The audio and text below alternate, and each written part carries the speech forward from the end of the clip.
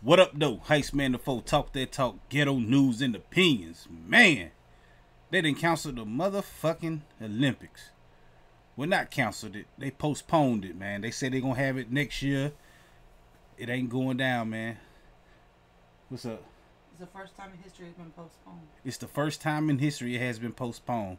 We live from the quarantine headquarters, man. I'm Heist Man the Foe, sitting there talking with Charlene the Foe right now. Um, the Olympics is canceled though. Well, not canceled. They say it's postponed. The Tokyo Olympics. It ain't going down this year, man. All you athletes been out there doing y'all steroids all year. You gotta wait a whole nother. So 2021. you gotta wait to 2021 to do your shit, man. Then they gonna do it in three years, so it's gonna be the closest. This is the first time they closed down the um Olympics since like the Hitler days or something, some shit.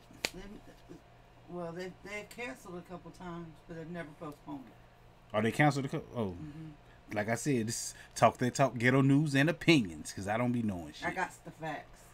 she got the facts. He Anyway, likes to run his mouth. You right.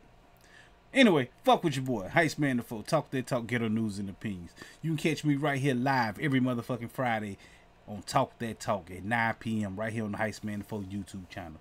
Click, like, share. Oh, I say click for. Well, like, share, subscribe, comment, do all that good shit. And fuck with your boy, Heist Man the Foe. Peace.